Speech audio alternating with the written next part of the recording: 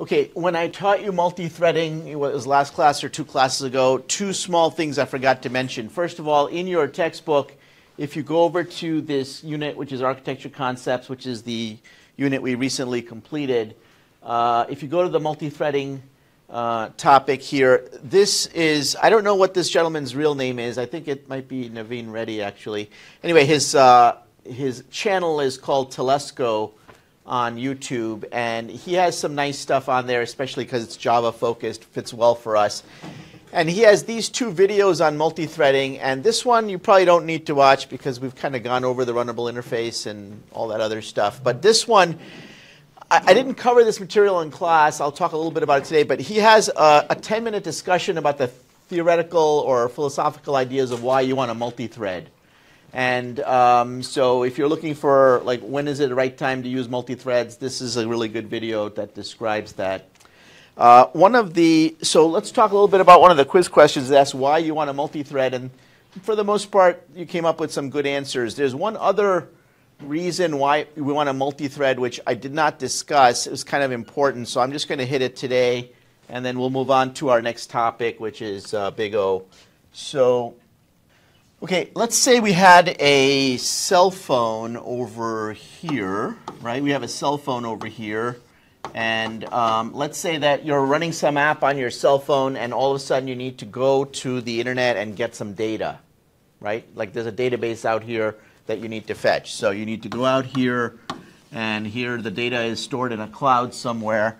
And so eventually what you want to do is you want to, you want to send a request out there and then you want to wait for the information to come back. And my question is, can your app and the request for the thread to, uh, sorry, let, me start over. Your, your app and the request for information, can it run on the same thread? What do you think, Mr. Frenovic? The answer is no. And the question is why? Okay. So here, when you're running inside the app, you know, your instructions take like a few milliseconds here or there, maybe even microseconds. When you launch this request for information, how long typically will it take for the internet to respond? What are we talking about here? Mila, what do you think? Like a few? It, it will be a few milliseconds. It could be, in theory, it could be like if you're in a tunnel and you have to wait to, to leave the tunnel, or whatever. It could be like a couple of seconds even. The other thing you have to keep in mind is that it may never come back because your connection might be spotty with the internet or whatever. So what you want to do is you want to launch that request in a separate thread so as to not tie up your main application. Uh, otherwise, what's going to happen is that this, this app will actually freeze waiting for this data to come back, and you don't want that. So this is another important example of why you want to create a separate thread and launch this request. And you want to set your application up so that you can handle the response no matter, you know, you're, you're off doing some other thing, and you want to be able to handle it uh, no matter when it comes back to you. I, I liken this to you being at home and working on stuff at home, and then all of a sudden you realize, oh, I got to buy something from UPS.